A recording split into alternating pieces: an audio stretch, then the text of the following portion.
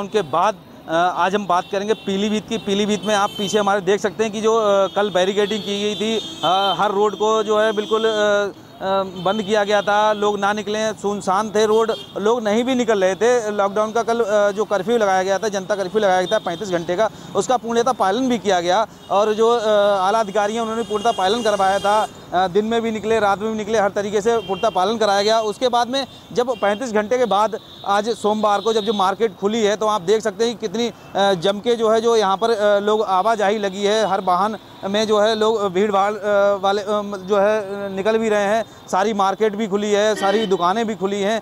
वही हम बात करेंगे कि जो है, हमारे साथ में जो निकलने वाले लोग हैं, इनसे भी हम जान लेते हैं कि जो सरकार ने निर्णय लिया था, पैंतीस घंटे का जनता कर्फ्यू लगाया था, वो क्या सही था?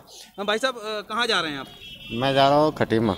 उत्तराखंड। मतलब जो सरकार का निर्णय था पैंतीस घंटे का जो लॉकडाउन लगाया गया वो सही था या निर्णय गलत था? होता क्या है असल में लॉकडाउन से ज़्यादा फ़र्क पड़ने वाला है नहीं क्योंकि जनता जो है इलेक्शन में भीड़ भाड़ हमेशा रहती है और अपने आप को ही सेफ्टी आदमी जो खुद पालन करे तो वो ज़्यादा बेहतर लॉकडाउन से इतना बड़ा फ़र्क नहीं रोडों पर लोग मास्क भी नहीं लगाए हुए हैं और जो है ना तो ना तो सोशल डिस्टेंसिंग का पालन नहीं कर रहे हैं हाँ। इससे क्या कोरोना बढ़ेगा घटेगा? बढ़ेगा घटेगा नहीं। देखा आपने जो निकलने वाले भाई साहब हैं इन्होंने भी यहाँ से हमने इनसे पूछना चाहा कि जो लोग मास्क नहीं लगाए इनका भी यही साफ़ तौर से कहना है कि लोगों को पालन अपने आप करना चाहिए और जो है तभी कोरोना से निजात पाएँगे। ऐसे जो है भीड़ भाड़ वाली जगह जान, आने जाने से या मास्क ना लगाने से कोरोना और बढ़ेगा और संक्रमण बढ़ेगा। धर्मेंद्र सिंह चौहान के न्यूज़ पीलीभीत।